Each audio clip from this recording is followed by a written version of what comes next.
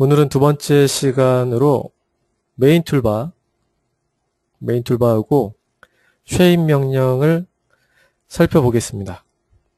그에 앞서서 지난 시간에 설명드린 지금 이 기본 세팅을 저장할 수 있다고 말씀드렸었는데 그 부분에 대해서 잠깐 설명을 드리면 이 파일이 저장되는 위치 싹 끌어와서 파일이 저장되는 위치 보통 이 3D Max가 가지고 있는 옵션들이나 이 창의 형태 viewport의 상태를 저장하는 곳이 여러분 컴퓨터의 바탕화면에 있는 문서 그 안에 3D Max 폴더 안에 있습니다. 그 폴더 안에 보면 scene이라고 있는데 그 씬 안에 저장이 됩니다. 씬 안에 저는 다른 걸 많이 저장해놔서 maxstart라고 네, maxstart라고 저장이 됩니다. start 1로 해놓으면 저장이 되지 않습니다. start라고 해야 기억하고 불러옵니다. 예, 현재 세팅되어 있는 상태 얘를 불러올 수 있는 게 max start.max 파일입니다. 그래서 이렇게 저장이 되어 있어야 되는데 그 경로를 바꿀 수도 있어요. 어디서 바꾸냐면 여기에 경로가 제대로 세팅되어 있어야 현재 여러분이 3D max. 그 max start.max라는 파일을 저장했을 때 불러올 수도 있어요. 일단은 세팅을 다 바꾼 다음에 저장할 때 save를 하게 되면 바로 아까 보셨던 것처럼 내 문서 안에 3D Max 그리고 씬 안에 이렇게 들어오게 됩니다. 여기에 맥스 스타트라고 하고 저장을 해버리면 현재 있는 Max 세팅이 저장돼서 항상 불려집니다. 이렇게 되어 있는 거고요. 이 위치를 이제 바꿔볼 건데 어떻게 바꾸, 바꿀 거냐면 customize에 보시면 config user path가 있습니다. 여러분이 저장되는 위치 그리고 map 폴더 map을 불러올 때 아니면 뭐 export를 한다거나 auto backup이 생긴다거나 뭐 이런 것들을 할 수 있는 폴더가 이미 지정이 되어 있어요. 어디에 지정이 되어 있냐면 여러분의 문서 파일 안에 있는 3D Max 폴더에 저장이 다 되어 있습니다. 이 폴더들이 다 있는 거죠. 그래서 여기 보시면 맥스 스타트라는 이 문구가 보이실 거예요. maxstart 파일은 신 폴더 안에 들어있게끔 기본으로 되어 있습니다. 이거를 수정을 하시면 돼요. Max를 만약 여러 개 쓰고 계신다고 하면 Max 2000 먼저 설치된 게 maxstart 파일을 가지고 있기 때문에 그 다음에 Max 버전을 다른 걸 설치하게 되면 폴더를 또 하나 만들어서 지정을 하시면 됩니다. 이렇게 modify 하시고 밖으로 나갑니다. 그러면 3D Max 바깥쪽에 이렇게 폴더들이 보이는데 새로운 폴더를 만들어서 Max 2011이라고 폴더를 만듭니다. 2011 폴더를 path로 지정하면 이렇게 새로운 패스에 맥스 스타트 파일을 저장해 놓고 계속 불러올 수 있죠. 여기 경로가 굉장히 긴데 똑같은 경로 안에 있기 때문에 그냥 경로를 줄여서 이렇게 Max 폴더만 보이게 할 수 있습니다. 이렇게 해놓으면 자동으로 maxstart 파일은 Max 2011 폴더에서 불러오게 되는 거죠. 오케이 하고 현재 파일을 저장하면 Max 2011 안에 maxstart라고 저장해 두시면 앞으로 이 start 파일을 계속 불러오게 됩니다. 이렇게 세팅해 놓고 쓰시면 돼요. 이게 궁금하셨던 분한테는 이제 이렇게 세팅을 해 놓으시면 항상 불러오게 됩니다. 그래서 세팅한 상태를 불러오고 싶을 때는 혹시 안 된다 그러면 일단 config에서 path를 지정하신 다음에 path가 제대로 되어 있는지 확인하시고 그 다음에 Max 파일을 저장을 해서 불러오시면 됩니다. 앞으로 Max가 실행되면 여러분이 사용하는 이 Max 장면하고 세팅으로 계속 불러지는 거죠. 그건 이제 질문이 있었기 때문에 제가 답변을 드린 거고요. 이제부터 main toolbar에서 꼭 필요한 기능들을 살펴보겠습니다. 먼저 레이아웃을 기본 상태로 만들어 놓고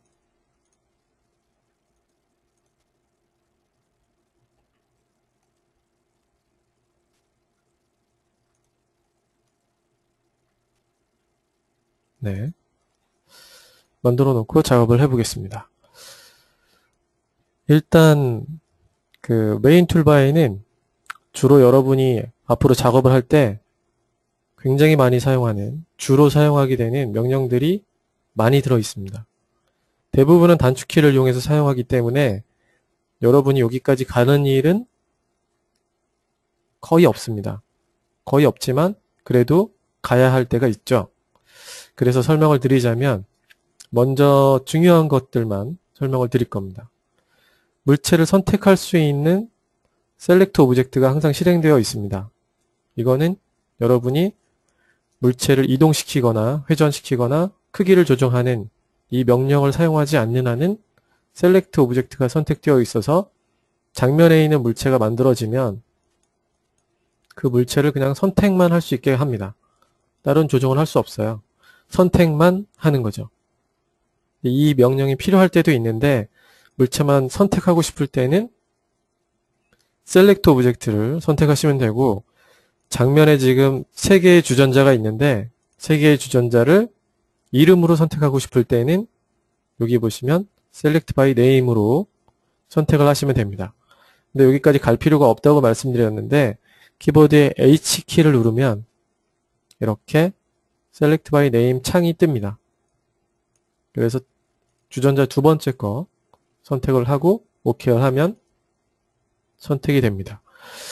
이 안에도 여러 가지 기능들이 있는데 기본값을 이용해서 그냥 쓰시면 됩니다. 이게 가장 좋으니까. 그리고 만약 다른 물체가 있다고 하면 여기 스피어가 딱 하나 있고 주전자가 세 개가 있는데 H키를 이용해서 만약 물체가 천 개가 있다고 하면 천개 중에 sphere를 찾아야 돼요. 그럼 여기서 sphere의 앞자를 딱 S자만 키보드에서 입력을 하면 sphere를 바로 찾아줍니다. 그리고 그 다음 거 비슷한 글자가 있다고 하면 최대한 이렇게 가까이 스펠링을 입력할수록 해당하는 물체가 선택이 되죠. 이렇게 해서 물체를 선택할 수 있습니다. 이게 H키를 눌렀을 때 쓸 수 있고요. H키를 눌렀을 때 버전별로 틀린데 H키 눌렀을 때 이 뜨는 창이 창이 뜰 때 속도가 느린 버전들이 있어요. 네, 그런 것들은 좀 빠른 버전으로 사용하는 게 가장 좋고 그걸 최대한 빨리 뜨게끔 한 버전이 2013 버전입니다. 보통 물체가 많으면 그 물체들을 읽으면서 뜨기 때문에 굉장히 오래 걸리는데 2013은 그 창을 굉장히 빨리 띄워주는 예, 그런 기능을 갖고 있죠. 테스트 해 보시면 좋을 것 같네요. 일단 그런 기능을 갖고 있고요. 그 다음에 물체를 선택하는 기능들이 있습니다. 선택할 때 보통은 이렇게 사각형으로 선택을 하죠. 이렇게 일반적으로. 그런데 만약에 뭐 이런 거죠. 스피어로 할까요? 이렇게 스피어가 있는데 제가 점을 선택할 때 이렇게 원형으로 되어 있는 점이기 때문에 이 원형을 선택하려면 사각형으로 선택하면 여러 번 이렇게 선택을 해서 해야 되잖아요. 근데 이것들을 좀 더 편하게 선택하기 위해서 원형의 선택 tool을 가지고 선택을 해주면 이렇게 원형으로 되어 있는 부분은 쉽게 선택할 수 있는데 네, 있는데 또 그렇게 이렇게 쓸 일은 별로 없다는 거죠. 왜냐하면 사각 선택 tool을 주로 쓰는 이유는 원형으로 선택하고 싶다고 원형을 또 바꿔서 가운데를 잘 맞춰서 이 원형 크기에 맞게 선택하는 게 아니라 left view에서 그냥 이렇게 선택하면 원형이 선택이 되기 때문에 굳이 그렇게 할 필요는 없죠. 근데 그런 선택하는 방법이 있다는 거죠. 그걸 알고 계시면 되겠고 뭐 여러 가지가 있는데 이거는 그냥 라인을 그리듯이 네, 이렇게 필요한 부분을 이렇게 해서 여기만 선택을 하겠어. 이렇게 해서 선택을 하시는 거예요. 첫 점을 클릭하면 선택이 됩니다.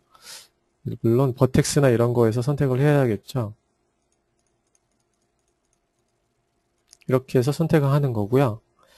뭐 이것도 필요할 때가 있습니다. 선택을 선택하는 건 여러 가지가 있어서 또 하나는 이제 마우스로 드래그 하면 예, 드래그 하면 이렇게 마음대로 드래그해서 놓기만 하면 선택을 할 수 있는 겁니다. 아까 거보다는 훨씬 더 좋은 기능이죠. 또 하나는 이렇게 스프레이 형태로 되어 있는데 말 그대로 그냥 이렇게 마우스를 드래그하면 드래그하면 선택이 됩니다.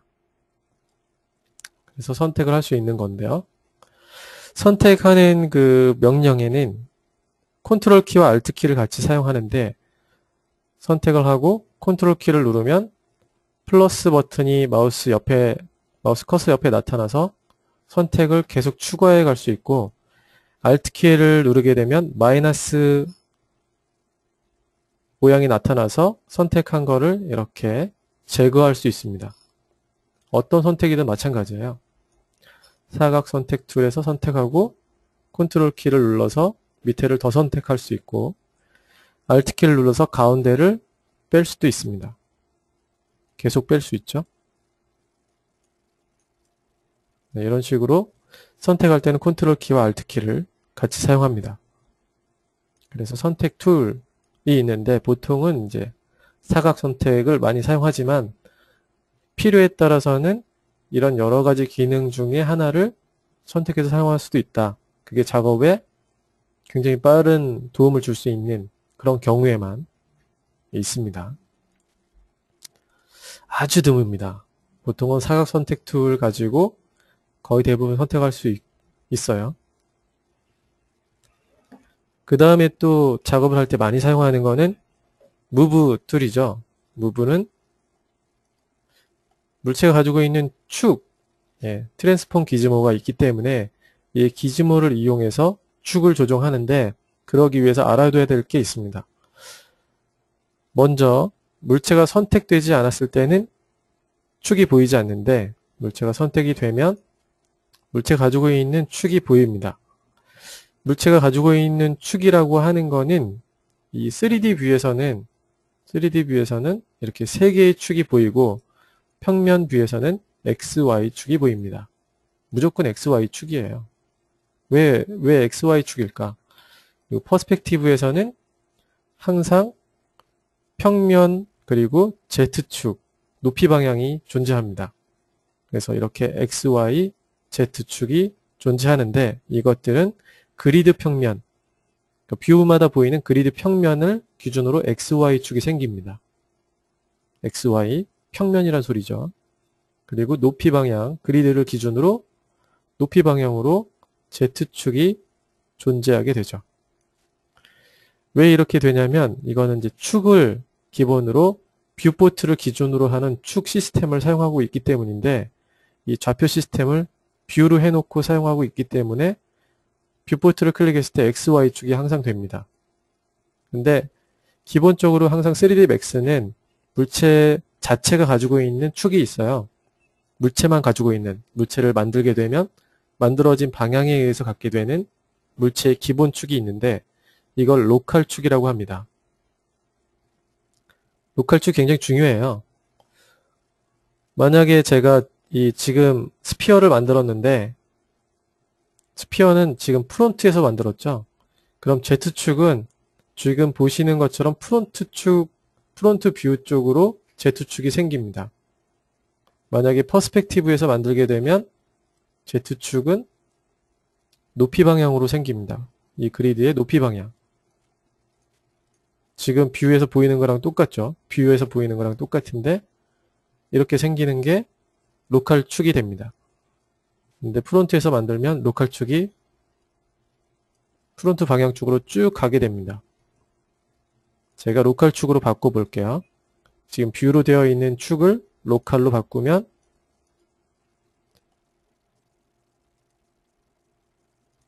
이런 식으로 축이 바뀝니다. Z축이 바뀌었죠? sphere 형태의 모서리점, 꼭지점이 모인 쪽으로 Z축이 만들어집니다. 이게 이제 local 축인데 앞으로 여러분이 쭉 배우시면서 view하고 local을 가장 많이 사용할 겁니다. 그래서 local이라는 거는 물체가 가지고 있는 축을 말합니다. 주전자가 가지고 있는 축. 주전자는 항상 이렇게 똑바로 있어야 물이 흐르지 않겠죠, 옆으로. 그래서 Z축. 항상 Z축이 이렇게 위쪽으로 되어 있죠. 전부 다 축을 가지고 있습니다. 나중에 3D를 할 때 제가 축에 대해서는 더 자세히 설명해 드릴 거고 그래서 축이라는 개념이 move를 하거나 회전을 하거나 스케일을 조정할 때 굉장히 중요한 역할을 하는데 기본으로는 view로 되어 있어요. viewport에 맞춰져서 빠른 작업을 할 수 있게끔 도와주고 있습니다. sphere를 하나 만들어서 move에 대해서 알아보겠습니다. transform gizmo는 물체를 움직일 때 이렇게 XY, Z축으로 화살표가 있는데 이 화살표를 드래그하면 그 해, 해당하는 방향 쪽으로 이동할 수 있어요. Y축 그리고 Z축 회전을 할 때도 마찬가지입니다. 회전을 할 때도 해당하는 축에 해당하는 선을 드래그하면 이렇게 각도를 이용해서 회전을 할 수 있죠.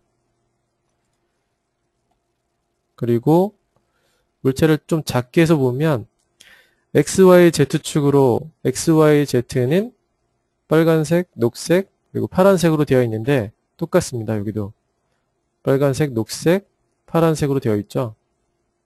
선택된 건 노란색으로 되어 있고 그리고 바깥쪽으로 이렇게 회색 원이 있는데 이 회색 원은 viewport를 기준으로 회전시켜 줍니다. 주전자로 확실하게 보여드리면 XYZ는 뭐 보이니까 근데 viewport라는 거는 현재 보이는 상태를 그대로 view에서 회전시키는 거죠.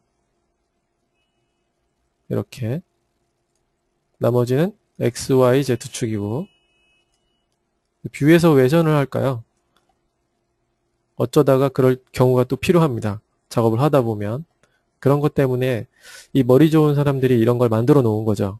그러니까 이걸 이렇게 해놓으면 이 작업할 때 좋겠다. 그래서 만들어 놓은 건데 사용할 일이 없다고 하면 뭐 좋은 일이고요. 사용할 일이 있다고 하면 이렇게 바깥쪽에 있는 원을 드래그해서 회전을 시키시면 됩니다. 그 다음 스케일이 있네요. 스케일 같은 경우는 XYZ축 한 방향으로 이렇게 크기를 키우거나 그리고 XY축 평면 두 축을 기준으로 크기를 조정할 수 있고 세 개의 축을 한꺼번에 이 축 아이콘 기즈모에서 가운데에 마우스를 드래그 하게 되면 3D 스케일을 조정할 수 있습니다. 그래서 대부분은 XY축 각 축 평면을 기준으로 하거나 아니면 세 개의 축을 기준으로 변형을 줄 수 있죠. 로테이션에서도 똑같이 그런 게 있습니다. 어디냐면 가운데 축이 선택되지 않은 상태에서 가운데서 드래그를 하게 되면 내가 원하는 형태로 물체를 회전시킬 수 있죠. 무브에서는 없습니다. 네. 무브에서는 없고요. 또 축이라는 거 한번 선택을 딱 클릭을 해, 놓게 되면 계속 이렇게 선택이 되어 있어요. 노란색으로. Y축, 그다음에 Z축. 그래서 옆에서 이 물체를 아래쪽 위쪽으로 내리고 싶으면 스페이스바를 클릭하면 이 아래쪽에 자물쇠 버튼이 불이 켜지게 됩니다. 그러면 viewport에서 현재 있는 물체가 선택된 축 방향으로 변형을 일으키죠. 스페이스바를 다시 눌러주면 이렇게 자물쇠가 꺼집니다. 이게 lock 버튼인데 실무 작업할 때 스페이스바는 정말 습관처럼 사용하게 됩니다.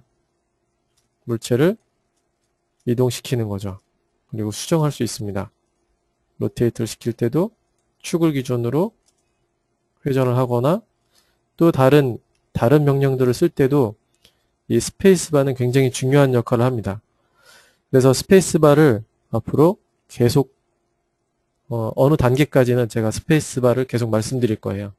근데 여러분은 이게 이제 습관이 되면 작업이 빨라지고 있다는 걸 느끼시면 됩니다. 스페이스바가 있다. 이런 거고요. 보통은 이제 move, rotate, 회전, 이 move, rotate, scale을 할 때 스페이스바를 많이 씁니다. 뭐, 어, 중요하다고 해도 보통 자기가 쓰지 않으면 중요한지 모르죠.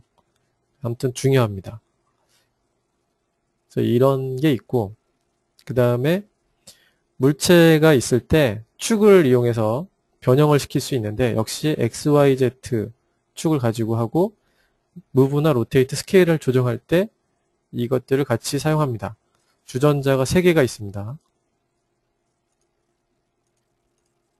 3개의 주전자를 회전시킨다고 하면 주전자는 3개가 선택된, 선택되어 있는 중앙, 예, 3개의 중앙을 기준으로 회전을 합니다. 왜 이렇게 되냐면 축이 선택된 것들의 중앙을 항상 축으로 사용하고 있기 때문인데 이 버튼에는 3개가 있어요. 3개. 맨 위에 있는 걸 보면 두 개의 아이콘에 각각 축이 이렇게 생깁니다. 얘는 지금 다시 회전을 시키면 각각의 물체가 가지고 있는 축을 기준으로 회전합니다. 이렇게 조정해야 될 때는 굉장히 많죠. 그래서 이렇게 회전시키고 싶을 때 물체들 선택된 것들을 각각 수정하고 싶을 때는 축을 바꾸는 게 중요하고 또는 선택된 것들의 중앙을 기준으로 하고 싶을 때는 역시 축을 바꿔야겠죠. 이렇게 해서 회전을 시키면 한 번에 수정이 가능합니다. 스케일을 할 때도 마찬가지죠. 선택된 세 개의 중앙을 기준으로 크기를 조정하거나 이렇게 좁힐 수 있죠. 하지만 각각의 물체를 그 위치에서 크기를 조정하고 싶을 때는 각각의 축을 사용해서 크기 조정을 해주면 됩니다. 그럴 때 사용합니다. 이 두 개만 거의 사용합니다.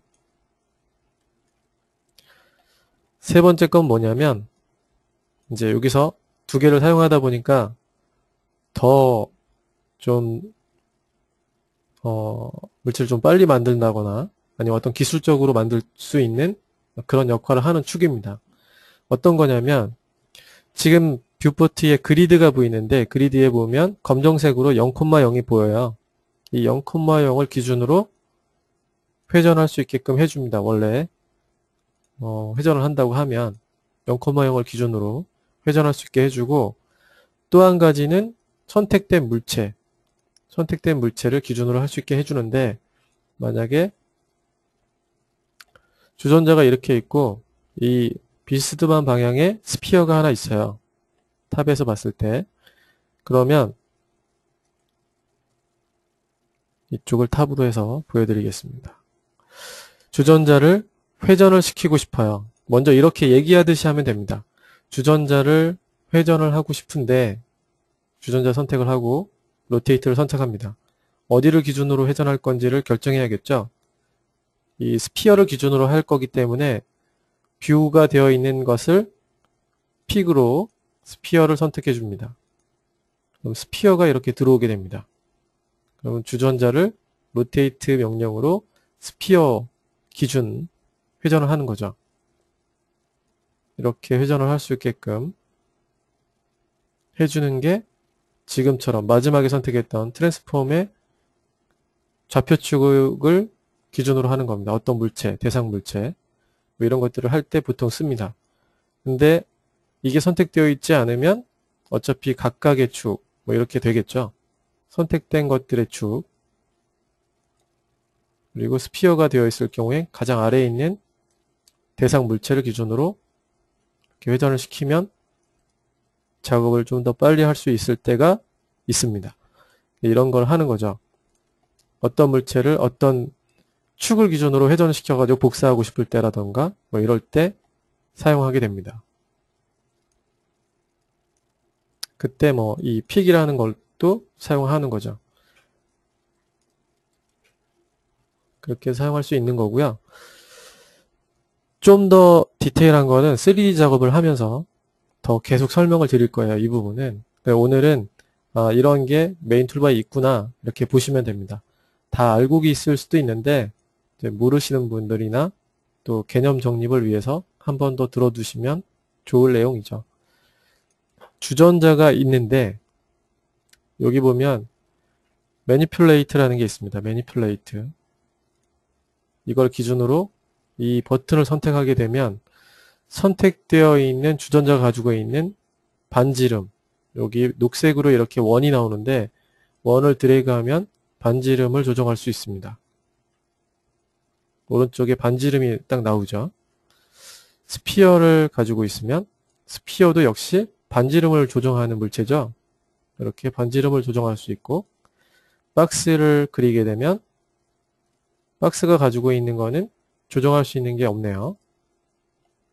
그리고 실린더를 그리게 되면 역시 실린더의 반지름을 조정할 수 있습니다. 이런 건데 조정하는 옵션들은 얘 이 기본적으로 기본 물체가 가지고 있는 이런 반지름만 조정하는 건 아니고요. 뭐 나중에 모디파이 패널에서 뭐 좌표를 갖게끔 UVW 맵을 줬다거나 이럴 때도 조정할 수 있습니다. 축을 조정하는 거죠. 좌표축. 그래서 XY축을 따로따로 조정해서 매핑을 조정할 수 있는 그런 기능도 할 수 있죠. 이걸 조정하면 어, 매핑을 정확하게 어떤 위치에 맞출 때 좀 더 유용한 작업을 할 수 있게끔 해줘요. 그런데 그렇게 사용할 일이 없기 때문에 예, 그렇게까지 사용할 일은 많지 않아요. 그래서 그런 기능을 하고 있, 는데 이런 게 있구나 이렇게 보시면 됩니다. 저것도. 그리고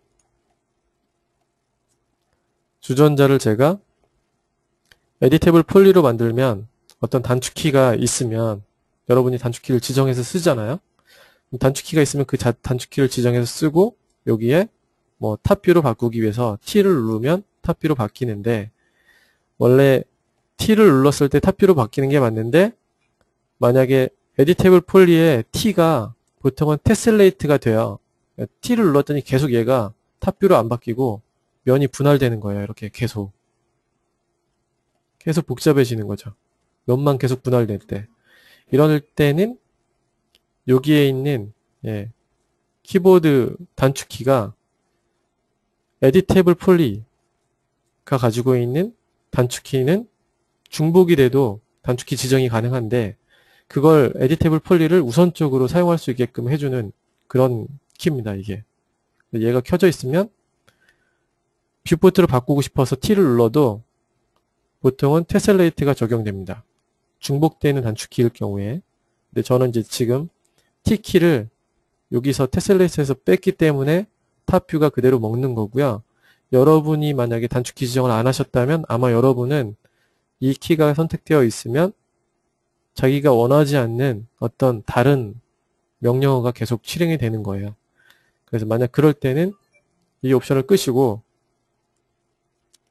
키보드를 다시 한번 눌러보시면 이렇게 제대로 실행이 될 겁니다. 이걸 바꾸고 싶을 때는 T키를 customize해서 단축키를 빼버리면 됩니다. 어떻게 빼냐면 Customize User Interface를 실행하신 다음에 이 Max 11은 Customize User Interface를 실행하는데도 굉장히 오랜 시간이 걸려요. 몇 초가 걸리죠. 2013은 그걸 보완해서 나온 거니까 굉장히 빠릅니다. 바로 뜹니다. Max가 죽은 게 아닙니다, 여러분. 떴네요. 여기서 단축키 부분에 보면 Edit Polygon이 있습니다. Editable Polygon. 여기서 Tessellate라는 거에 가서 단축키를 삭제하시면 됩니다. 테셀레이트, 리무브 이렇게 시키시면 됩니다. 리무브 버튼이 여기 있죠. 지금은 안 돼 있는데 제가 리무브 시켰기 때문에 여러분은 리무브를 시키시면 됩니다. 아니면 다른 단축키 뭐 T로 되어 있었다면 Shift T나 아니면 Ctrl T나 뭐 이런 거 다른 걸 지정하셔서 사용하시면 되죠. 네, 그런 거고요. 얘는 보통 꺼놓고 작업하시면 됩니다. 꺼놓고 그리고 Editable Poly에서도 여러분이 사용할 단축키를 지정하시면 되기 때문에 보통은 꺼져 꺼놓고 사용하는 게 맞습니다. Snap이 있네요. Snap. 가장 중요한 건데 네, snap을 하면서 shape을 설명드리겠습니다. 저희는 오늘 snap, snap까지만 보시면 이 main toolbar는 거의 다 보셨다고 할 수 있습니다. 뭐 mirror도 있고 그 다음에 align도 있고 한데 이것들은 3D object 할 때 설명을 제가 드릴 거니까 그 다음에 렌더링 그 다음에 재질 뭐 이런 것들이 있네요. 이런 것들은 3D 물체 하면서 다음 시간에 설명을 드릴 거고 우리 저희는 snap까지만 할 겁니다. Shape은 2D 모양을 만듭니다. 2D 모양. 2차원 모양. 모양을 만드는 명령은 지금 보시는 것처럼 뭐 11가지 이렇게 나와 있고 Spline에 보면 NURBS가 있고 Extended Spline이 있습니다. 보통 뭐 Extended Spline은 별로 쓸 일이 없는데 좀 확장된 그런 spline이고요. 보통 기본적으로 저희는 라인, 그 다음에 서클, 텍스트, rectangle 뭐 이런 것만 주로 씁니다. 나머지는 그냥 그냥 모양이 있는 거죠.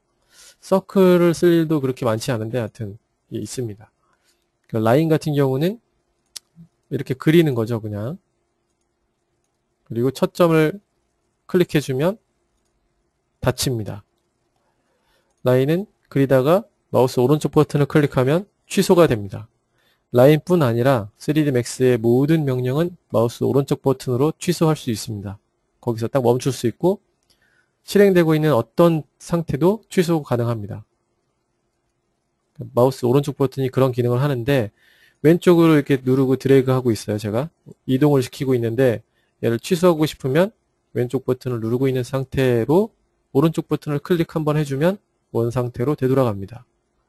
항상 오른쪽 버튼은 왼 버튼하고 상관없이 왼쪽 버튼은 계속 실행하고 있는 상태로 다른 취소하고 싶을 때는 오른쪽 버튼만 클릭을 한 번 더 해주면 된다는 거죠. 이런 게 Max의 기본입니다. 여기 라인에도 어김없이 들어와 있죠. 라인은 기본적으로 클릭하면 직선이 그려집니다. 그리고 드래그하면 곡선이 그려지죠. 클릭하면 직선, 드래그하면 곡선 이런 식으로 해서 모양을 그려갈 수 있습니다. 그리고 백스페이스, 엔터키 위에 있는 왼쪽을 보고 있는 화살표를 클릭하시면 지금 그려진 것들을 취소해 갈 수 있죠. 그리고 오른쪽 버튼을 누르면 첫 점도 없어지겠죠. 라인을 그릴 때 가장 중요한 거는 처음 그리는 방향입니다. 처음 클릭한 점은 첫 점이 되죠. 두 번째 점, 세 번째 점, 네 번째 점, 다섯 번째 점. 네, 이렇게 됩니다. 네, 가장 중요한 거고 또 여기 보면 옵션이 있는데 옵션이 지금은 코너로 되어 있기 때문에 initial type이 코너로 되어 있으면 클릭했을 때 코너가 나오는 거고 initial type이 smooth가 되어 있으면 클릭했을 때 곡선이 나옵니다.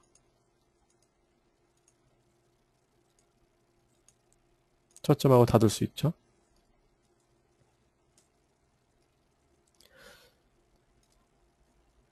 라인이 가지고 있는 게 여러 가지가 있는데 드래그 했을 때는 지금 베지어가 나오고 있었는데 얘를 코너로 바꾸면 거꾸로 바뀐 거죠. 이렇게 해서 클릭하면 곡선이 나오고 드래그하면 직선이 나오고 드래그하고 클릭하고 클릭하고 클릭하면 곡선이 되는 거죠. 이런 식으로 해서 모양을 만들 수 있습니다.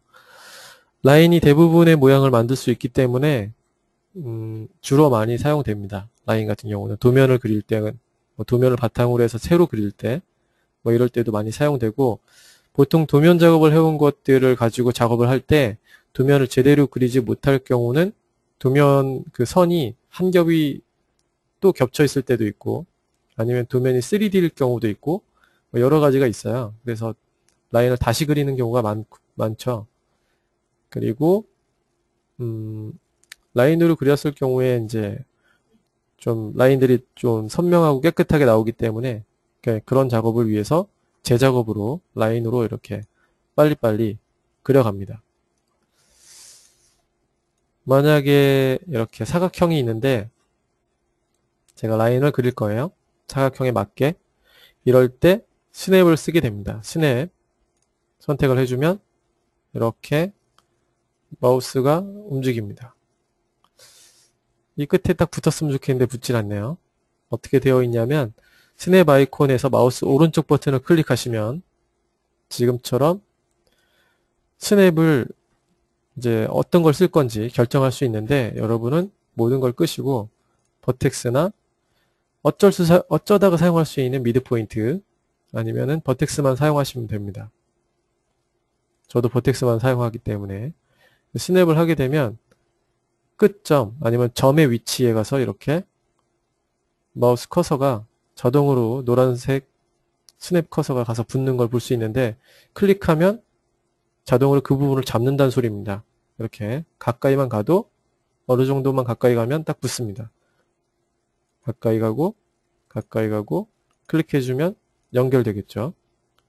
이런 식으로 스냅을 잡을 수 있습니다. 원래 처음 상태로 해놓고 하면 지금 배경에 있는 사각형하고 똑같은 사각형을 빨리 만들 수 있죠. 네. 뭐 지금은 간단한 사각형을 제가 밑에다 놓고 그렸기 때문인데 예, 도면 같은 걸 놓고 그릴 때는 굉장히 빠른 작업을 할 수 있겠죠. 스냅에는 역시 질문에 올라온 거랑 똑같은 것 중에 하나인데 제가 그려보겠습니다. 3D 물체 박스가 하나 있고 제가 밑에서 라인 작업을 할 겁니다.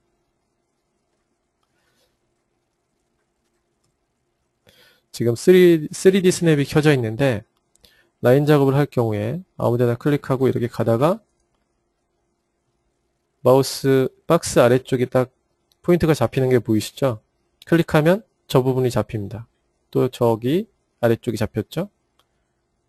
이렇게 첫 점을 클릭하면 닫힙니다. 얘는 평면에 이렇게 만들어졌죠. 평면에. 그런데 이렇게 perspective에서는 라인을 그릴 때 윗면도 잡을 수 있습니다. 윗면, 위쪽 모서리를 잡으니까 딱 잡히죠? 위쪽, 또 아래쪽, 다시 첫 점. 이렇게 잡히면 얘는 3D로 그려집니다. 이런 작업을 하기 위해서 스냅을 사용하는 건데 스냅에는 종류가 있습니다. 네, 클릭을 마우스를 누르고 있으면 2D, 2.5D, 그 다음에 3D 이렇게 있어요. 보통은 저희가 2D 스냅은 사용하지 않습니다. 왜 2D는 뭐냐면 2D를 해놓으면 그리고 위를 선택해도 위에 있는 것 같지만 얘가 위쪽으로 그려지지 않습니다. 아이고 제 거는 2D가 선택되지 않네요. 죄송합니다. 네, 자동으로 3D가 선택되게 되어 있어요. 여러분은 아마 선택될 건데 네, 그 2D라는 건 이런 개념이에요. 마우스를 이렇게 그리, 그려서 높이 방향을 높이 있는 데를 딱 선택을 해도 얘가 높이가 선택되는 게 아니라 평면이 선택됩니다. 그게 2D고 2.5D는 2D하고 비슷한데 얘가 auto로 되어 있으니까 안 좋네요. 보여드릴 수가 없어서 이렇게 높이도 선택이 되는데 지금처럼 이렇게 높이로 가는 게 아니라 저쪽이 선택되는 거예요. 이렇게. 이 평면. 여기서 봤을 땐 3D로 딱 선택된 것 같지만 마우스를 이렇게 틀어서 평면을 보게 되면 3D 스냅은 잡혔지만 평면상에 그려지는 게 2.5D 스냅이고 이것들을 3D에서 제대로 위치, 높이 방향으로 선택되게 하기 위해서는 3D가 됩니다. 2.5D는 평면상에 그려지는 3D 스냅을 물체의 위치는 다 잡지만 평면상에서 물체가 그려지는 거고 3D는 3D 평면상, 3D 높이 방향으로도 다 그려지는 거. 그래서 3D 스냅인데 이걸 자동으로 해주는 스크립트가 있습니다. auto snap이라는 게 있어서 그 auto snap을 설치하게 되면 이렇게 평면에서는 2.5D가 자동으로 실행이 되고 평면에서 2.5D밖에 필요 없어요. 그리고 3D perspective나 orthographic에서는 3D 스냅이 자동으로 실행이 됩니다. 그래서 물체 어디나 선택해서 물체를 수정할 수 있고 물체를 만들 수 있게끔 해주는 게 스냅입니다. 네, 여러분은 auto snap을 실행 그 설치하셔서 쓰시거나 아니면 이제 앞으로 쓰실 때 평면에서는 2.5D 아니면 3D 스냅 이렇게 쓰시면 됩니다. 2.5D가 맞고요. 그리고 3D, 3D 이렇게 입체 view에서는 3D 스냅만 사용하시면 제대로 물체를 만들고 사용할 수 있습니다. 그 auto snap은 네, 제가 올려놓겠습니다. 게시판에 그렇게 해서 사용하시면 되겠고요. 3차원일 때 물체를 회전시켜 보겠습니다. 로테이트를 이용해서 회전시킬 때 지금은 이렇게 소수점 두째 자리까지 회전이 되지만 키보드의 A키를 누르면 angle snap이 실행돼서 5도씩 회전합니다. 5도 그래서 물체를 이렇게 조정하기 쉽죠. 스냅은 스냅의 앞자 S자를 누르시면 실행이 되고 angle snap은 A자를 누르면 실행이 됩니다. 각도별로 스냅을 줄 수 있죠. 마우스 오른쪽 버튼을 클릭하면 몇 도씩 회전할 건지를 정할 수도 있습니다. 여기 지금 5도씩 되어 있는데 5도씩을 10도씩 어, 해놓으면 10도씩 회전합니다. 그래서 90도를 해놓으면 90도씩 회전하겠죠. 이런 식으로 회전을 마음대로 조정할 수 있습니다. 그게 이제 앵글 스냅이고 물체의 크기를 조정할 때 퍼센트 스냅을 쓰는데 여러분은 그렇게 조정할 일이 없을 것 같은데요. percent snap은 이런 겁니다. 이렇게 물체가 만들어졌을 때 percent snap을 쓰게 되면 스케일을 조정할 때 주로 쓰는데요. percent snap은 스케일 조정할 때 비율로 10, 뭐 90%, 80% 이런 걸 조정하고 싶을 때 딱딱 10%씩 줄어들게끔 하는 그런 명령을 갖고 있는 겁니다. 얘들이 줄어드는 거는 아래쪽에 이 좌표가 보이는데 X, Y, Z축 얘를 보시면 90% 이렇게 줄어드는 게 보입니다. 아래에 있는 좌표를 잘 보시면서 작업하는 게 좋습니다. 무브를 한다 그러면 현재 위치가 물체 3D Max 가지고 있는 0,0에서 어디에 있는지 이렇게 보여주는 거고 모두 다 0 위치로 조정할 수도 있죠. 그러면 축을 기준으로 0,0에 맞춰줍니다. X축으로 움직이거나 Y축으로도 움직일 수 있고 Z축으로도 움직일 수 있죠. 얘가 이제 축을 가지고 좌표를 입력해서 물체를 이동시킬 수 있습니다. 정확하게 X축으로 20만큼 이렇게 할 수 있죠. 회전할 때도 마찬가지고 밑에 있는 걸 잘 보셔야 됩니다. 이 축에 대해서도 3D 물체를 할 때 좀 더 자세히 설명드리겠습니다. 오늘은 2D 쉐입에 대한 내용을 좀 더 설명해 드릴게요. 그 라인이란 건 그런 거고요. rectangle은 그냥 사각형을 그리거나 아니면 모서리, 이 corner radius를 가지고 코너를 둥글게 만들 수 있죠. 그런 기능이고 circle은 원, 그 다음에 ellipse는 타원, arc는 첫 점과 끝점을 기준으로 하는 이런 곡면, 예, 곡선 이런 걸 만들 수 있고요. 아니면 여기 선택 옵션에서 센터하고 드래그해서 시작점, 끝점 이렇게 해서 타원을 그릴 수 있죠. 아니면 타원을 닫을 수도 있는데 옵션이 있습니다. 파이 슬라이스라는 걸로 타원을 닫고 또 번지름이나 시작점의 위치나 이런 것들을 수정해서 형태를 파이 형태로 만들 수 있죠. 그래서 파이 슬라이스고요.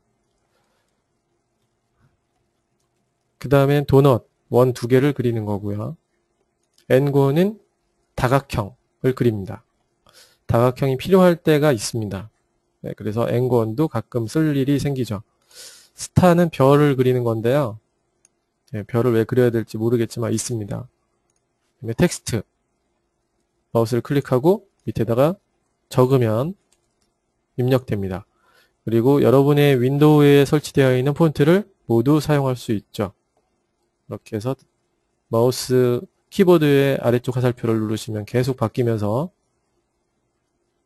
여러분이 가지고 있는 폰트를 다 볼 수 있습니다. 띵. 그 다음에 사이즈 조정할 수 있고 네, 글자 간격을 이렇게 조정할 수 있습니다. 줄 간격이 필요하다면 줄 간격도 조정할 수 있죠. 네, 이런 거고요. 쉐입은 이제 특성이 있는데 쉐입의 특성은 이런 겁니다. 라인 같은 경우는 이렇게 라인이 독립적으로 떨어져 있는 그런 불규칙한 모양을 만드는 거기 때문에 modify 패널에 가면 수정하는 명령을 가지고 있습니다. 여기 밑에 보면 수정하는 명령들이 잔뜩 있는데 예, 라인을 수정하는 spline을 수정할 수 있는 명령이 자동으로 되어 있는 거고요. 그 나머지 것들은 없습니다. 예, 그, 그 나머지 것들은 밑에 이렇게 조정 옵션들이 있는 것들은 전부 조정 옵션만 나옵니다. 이렇게 조정 옵션이 그대로 나오죠. 얘들을 조정하기 위해서는 두 가지 방법이 있는데 edit spline을 추가해서 수정을 하거나 modify 패널에서 명령어들 중에 edit spline을 선택합니다. 이렇게 edit spline을 추가해주면 아까 라인이 갖고 있던 그 수정 명령이 이렇게 추가됩니다. 이렇게 추가되면 뭐 물체를 원하는 대로 수정을 할 수 있죠. 또 한 가지 방법이 있습니다. 또 한 가지 방법은 사각형하고 원을 그리는데 원을 그릴 때 그냥 그리면 네, 사각형은 색상을 가져버리고 원만 선택되는데 모디파이 패널로 가면 이렇게 원에 대한 것만 나오죠. 그런데 사각형을 그린 다음에 여기 보면 object type에 start new shape이라는 옵션이 항상 실행되고 있어요. 그래서 물체를 그릴 때마다 새로운 물체가 되게끔 해주는데 이 옵션을 해제하면 현재 선택된 물체와 같은 물체가 되게 해줍니다. 색상이 흰색으로 계속 남죠. 네, 이렇게 하면 modify 패널로 갔을 때 두 개의 조정 옵션을 지금 있는 다섯 개의 형태를 조정 옵션을 한꺼번에 가질 수 없기 때문에 editable spline으로 됩니다. 여기서 두 가지 이제 보면은 두 가지를 비교해 보면 앞에 거랑 얘는 editable spline이 됐고요. 아까 사각형에 줬을 때는 edit spline이 됐어요. 그 차이점이 뭐냐면 editable spline은 이, 이 물체들이 가지고 있던 사각형의 어떤 옵션, 원의 옵션을 조정할 수 없어요. 여기서는 그냥 editable spline으로만 어떤 형태들을 조정해 가야 됩니다. 근데 edit spline은 틀리죠. 그래서 그 두 가지의 틀린 점을 만들기 위해서 editable하고 edit이 있는 겁니다. edit spline은 조정을 해도 조정을 좀 했죠. 사각형에 내려가면 이렇게 경고창은 띄워주지만 사각형의 어떤 특정 부분을 조정할 수 있습니다. 다시 키우기, 키우기를 하거나 크기를 조정할 수 있죠. 다시 돌아오면 이렇게 수정된 상태 같이 조정할 수 있는 거고 원래 물체가 가지고 있던 속성을 조정할 수 있는 상태 그게 edit spline이고요. 조정할 수 없는 상태가 editable spline입니다. 그건 이제 3D도 마찬가지인데 네, 이런 식으로 되어 있어요. start new shape이란 게 있다는 거고 쓸 때 끄고 계속 만들면 됩니다. 한 물체가 됐다. 이렇게 된 거고 그리고 3D 맥스에 공통으로 사용되는 이제 auto grid라는 게 위에 있는데 auto grid는 이런 겁니다. 만약 박스라는 3D 물체가 장면에 있어요.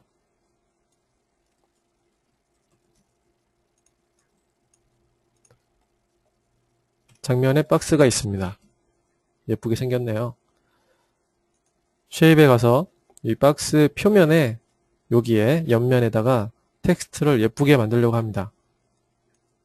조이시즈라는 텍스트를 예쁘게 만들고 싶은데 박스를 아무리 클릭해도 저 뒤에 이렇게 글자가 만들어지죠.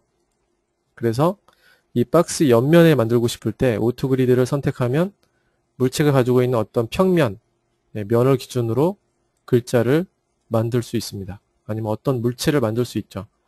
원도 밑에다 하나 만들고 이 옆면, 반대편, 측면에도 하나 만들 수 있죠. 위에도 하나 만들까요?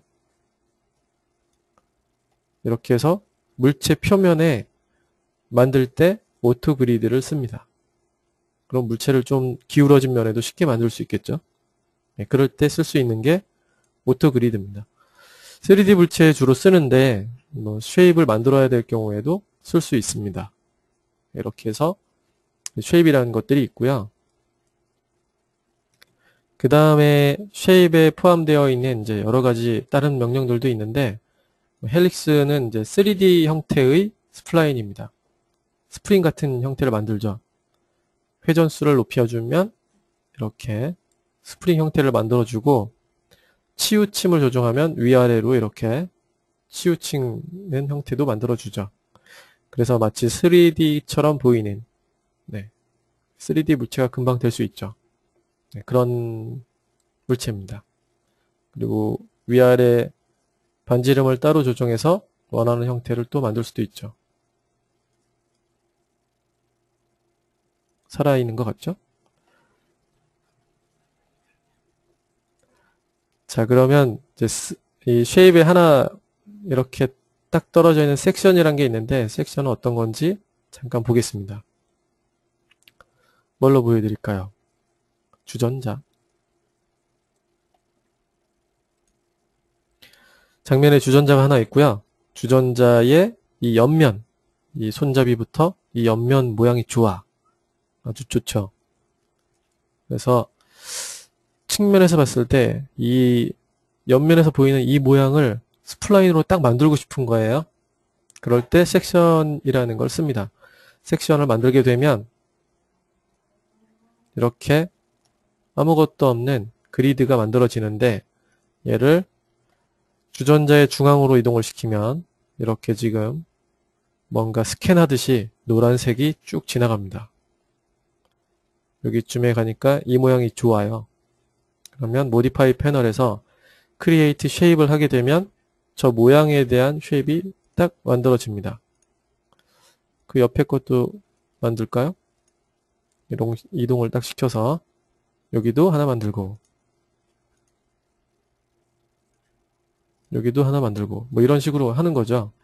그러니까 필요한 부분에 쉐입을 만들 수 있는 명령이 섹션입니다.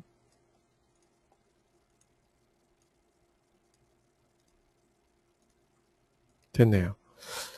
지우고 주전자를 빼볼게요. 그럼 주전자의 단면 형태가 이렇게 해당하는 부분에 쉐입이 만들어집니다. 뭐 이런 거 3D 물체에서 어떤 특정한 단면을 뽑아낼 때 그때 사용할 수 있는 게 섹션입니다. 섹션 같은 경우는 editable spline이 딱 되어 있죠. 자동으로 수정할 수 있는 상태의 spline이죠. 이렇게 해서 shape도 여러분한테 지금 보여드린 거 이미 알고 계시겠지만 이런 것들이 있고요. 저희가 NURBS는 사용하지 않기 때문에 제가 이 부분은 패스할 거고 extended spline도 역시 사용하지 않는데 어떤 것이냐면 이게 이런 사각형 두 개, 뭐 이런 겁니다. 그 건축의 단면, 네, 건축에 필요한 단면들을 만들 때 사용할 수 있는 그런 단면들이에요. 근데 이게 필요가 없어요, 사실은. 네. 3D에서 바로 할 수 있기 때문에 이건 필요가 없습니다. 그래서 설명은 안 드리고 잠깐 한번 보여드린 겁니다. 여러분은 여기서 spline에서 라인, rectangle, circle, NGon, 텍스트 뭐 이거만 잘 쓰시면 됩니다. start new shape, 그 다음에 auto grid 이게 답니다. 그리고 에디폴리하고 에디스플라인하고 에디테이블 스플라인하고의 차이점이 어떤 거였다. 예, 이런 거 잘 알아두시면 되겠네요. 자 그러면 spline으로 할 수 있는 간단한 형태 뭐 음, 사이트에도 올려놨는데 곧 곧 저희한테 어, 배트맨이 개봉을 하죠. 네. 배트맨의 박쥐를 만들어 볼까요?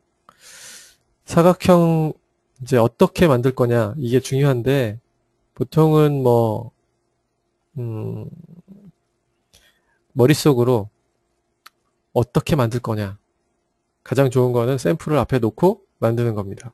아니면 바탕에다가 어, 배트맨 로고를 깔고 만드는 게 가장 좋겠죠. 서치를 해서 금방 서치할 수 있으니까, 어, 금방 나오니까.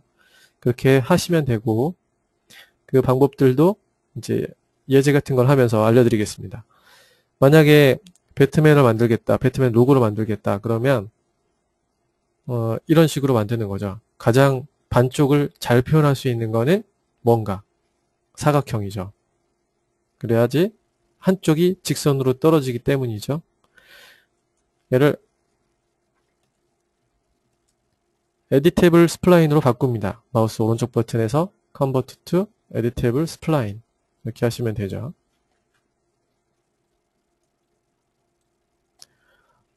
짠 사각형은 기본으로 점을 딱 선택했을 때 이렇게 베지어 코너를 갖고 있습니다. 마우스를 오른쪽 클릭하게 되면 이 빨간 점 위에서 선이 가지고 있는 속성이 이렇게 보입니다.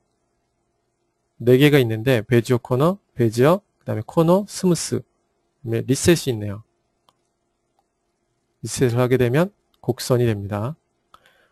그래서 Corner를 해주게 되면 Bezier가 Bezier 컨트롤 포인트가 다 없어지면서 정확한 사각형이 됩니다.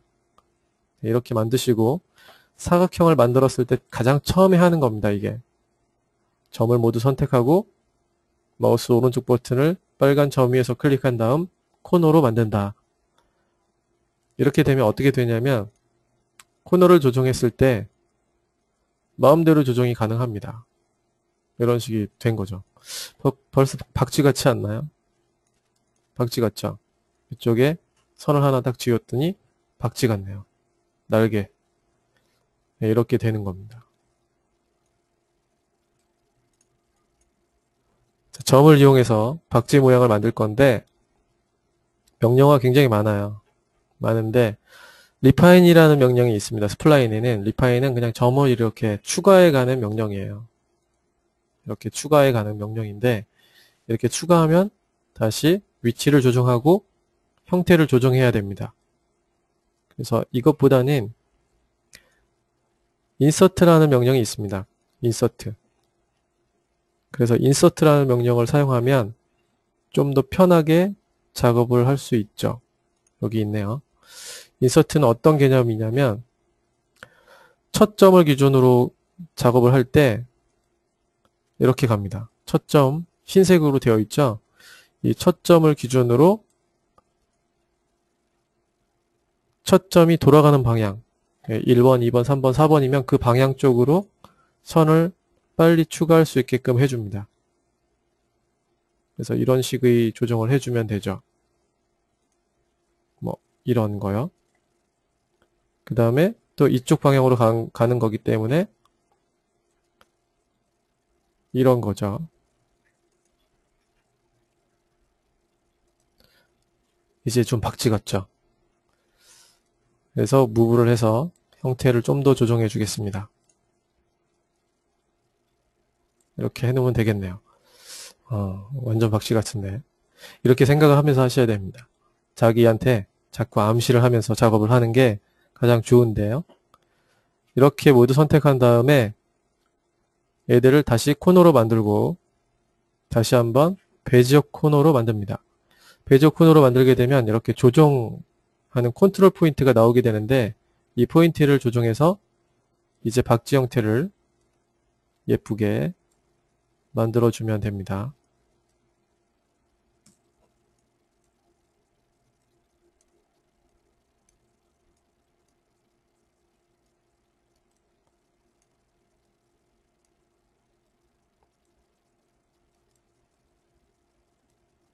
이런 식이죠. 반쪽이 만들어졌으면 선택하고 Spline을 반대로 뒤집으면서 복사해주면 됩니다.